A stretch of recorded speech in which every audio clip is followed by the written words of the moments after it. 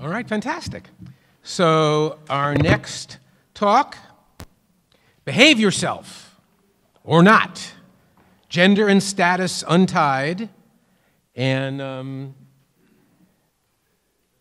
Simo Routarinne and Barbara Tint.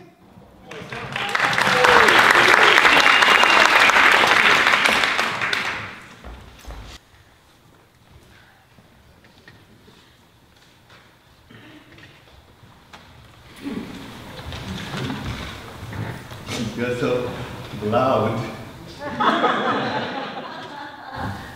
You're so cute.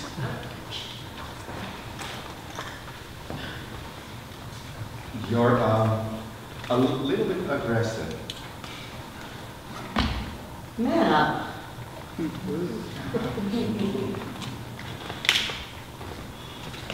You seem to take a lot of space being a short person.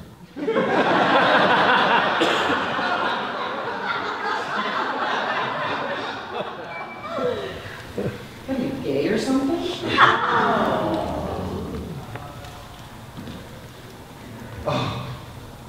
I can see the woman's touch in here. Thanks, it's nothing. Do you need help with your car?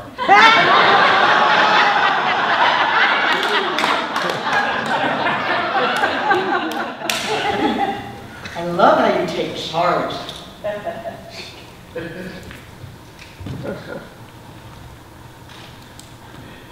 You're cute. You're loud. You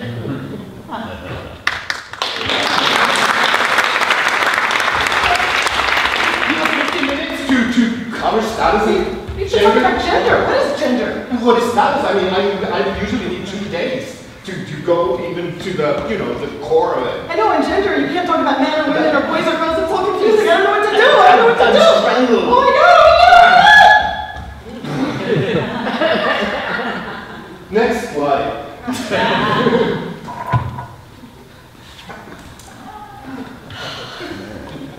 We're going to talk about gender and status. And it is a complicated topic. We have 15 minutes, and we hope to leave you with something that you can use throughout the conference. Yeah, and as you can see, it's complicated. You can change stuff with little things in your behavior or the props you use. And the reality is like that now, more and more, even, even in Finland. Even in Finland. Okay, this is the best uh, explanation of the fluidity and complexity of gender that we found. Yes. So this um, comes from a variety of materials, and we want to first try to figure out what we mean by gender, because people use terms quite interchangeably. So we uh, see it as several things all uh, enclosed in a bubble. One is um, our, our physiological sex or biological sex is part of what um, people think about or mean when we talk about gender. And even that can be kind of complicated. and, and gender identity is something we feel inside. It's like, do I, how masculine or feminine or what gender I feel I'm inside? Do I feel like neutral? I don't know. Uh, the third is gender expression, which means how do I show up in the world, uh, which may or may not be aligned with my identity or my physiological. But you be kind of an androgen in that sense too. And sexual orientation, which has nothing to do with the previous three. It's, it's who you love, who you want to, who you want to love. It's what, what, what makes you feel pleasurable, or whatever. And, and also, the, the circle that's, that's circling around all this are the social conditioning and also role expectations we might have around these things. Yeah. So it's really yes, and, and we believe, and it's it's not complex to understand that they impact everything. The role expectations, um, the social conditioning impact everything, and it impacts everything differently depending on where we're from. So it's not like a one-size-fits-all phenomenon. And when we think about status, the one that we tend to focus on the most is gender expression. So status is very much about interactional phenomenon around how you show up in relationship with other people related to dominance and submission. And in the opening of the, talk, we tried to show you also that, that status not necessarily is connected with gender complexity, uh, but both women and men, or whoever in, in that uh, complexity can use high osmosis, can make that choice. And there are also cultural and social conditions and expectations that might make it easier or less easy.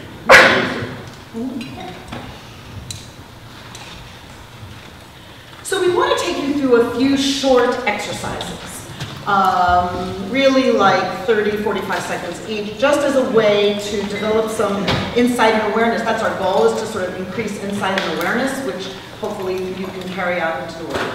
Could you form three people groups? And don't move, just turn, turn to people, three, it can be four if it has to. If you want, you can share a stand, you want, you can see.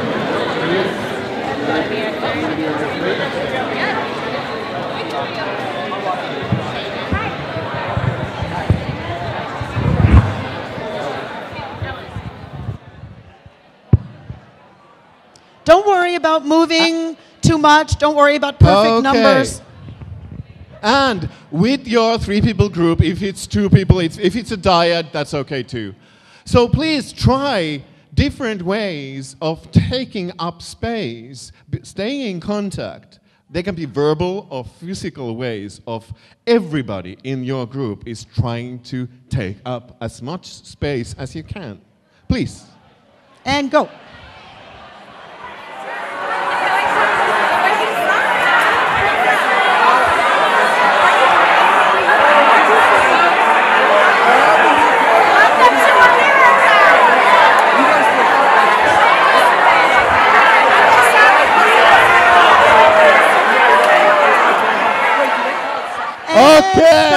Shut up, kids. Sit down. Okay. So, so regardless, you're a raucous crowd. Oh my God. Regardless of your gender, we invite you to take a moment to reflect on what that felt like. Did that feel natural? Did that feel like a stretch?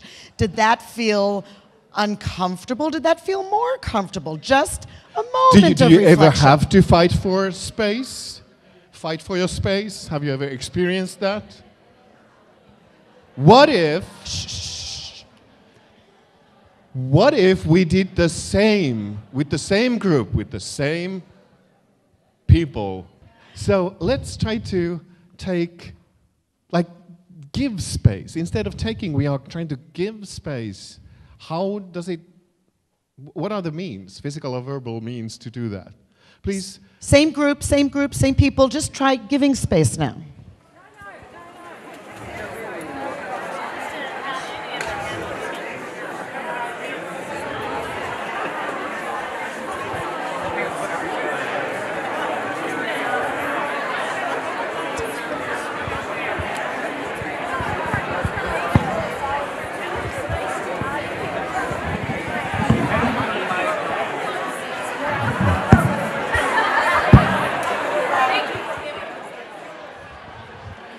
Okay, thank you, folks. Thank you so much. That was easier on the ears.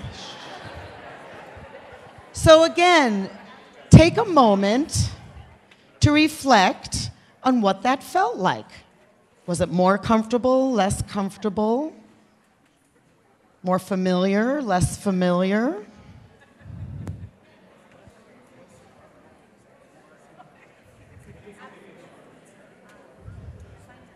Oh, they're discussing. They're discussing. They're listening. They're debriefing. Oh my God.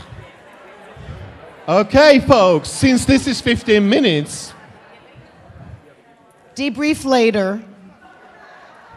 yeah. So, what about sharing space, taking turns? How would it look like if you would take turns and Use space, give space. Share space. Okay. Have a small experimentation.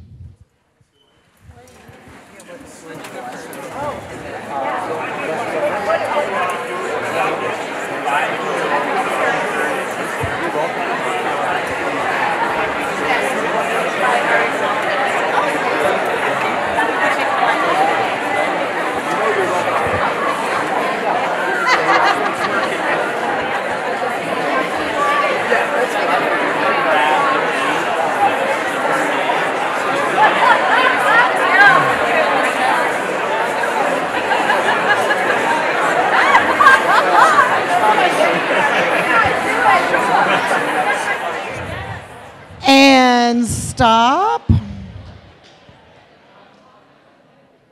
We'd love to have you for two days to do this, just saying. So take a moment and feel what that felt like. I heard a sigh. I, oh, somebody sighed. oh, sharing space is heavenly. Ah. I felt that. Okay, now So, the last thing choice. is that secretly in your mind with the same group, choose one. I'm gonna take up space, or I'm gonna I'm gonna be the giver, Or, I'm going to share. or I'm gonna share. So same so groups. pick one Just pick one. Don't tell what you're picking. Just do it. and have a go. Go.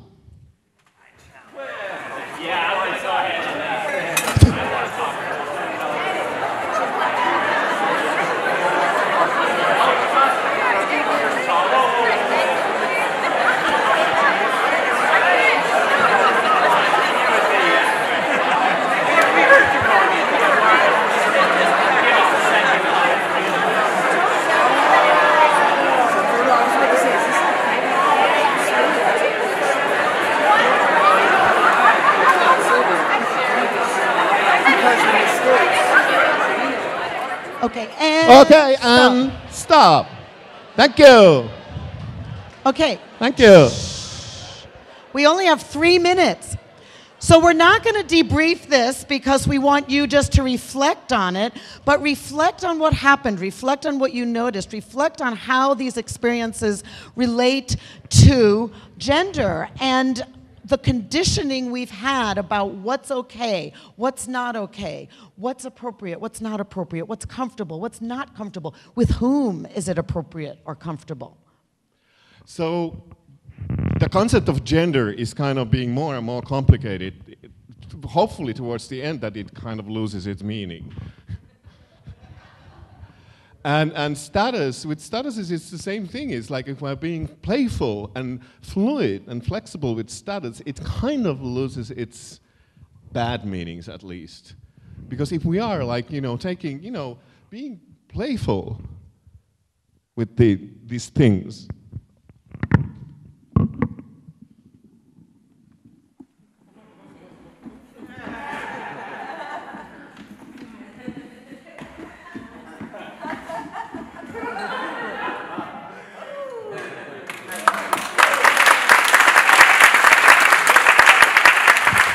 So we have we have an invitation for you for the next few days.